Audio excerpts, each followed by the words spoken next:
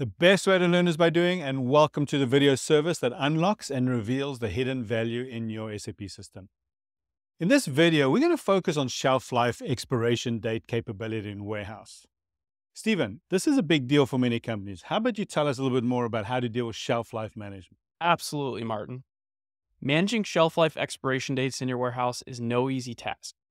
WM has built specific stock removal or picking strategies that automatically direct you to the material or batch that will be expiring first. This allows you to maintain FIFO principles and minimize expiring materials.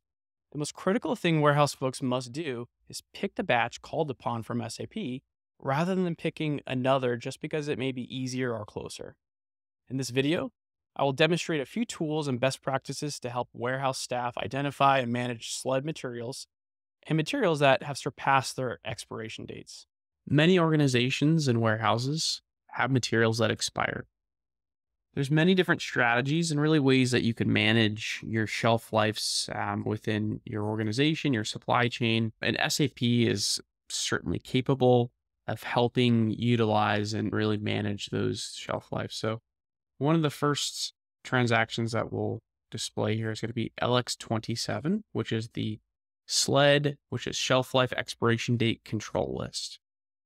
There's two required fields here. Going to be your warehouse number, which has shelf lives. The second's going to be down here in the number of days remaining in your shelf life.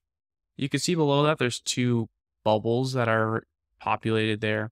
The first is total remaining shelf life, which accommodates for your transit time or your transportation time, such as your goods receipt time. It takes into consideration the overall um, picture outside of the warehouse, which is awesome. The second one below that is just simply, hey, it's expired in the warehouse. You need to get it out now before it actually expires and doesn't take into consideration some of those lead times.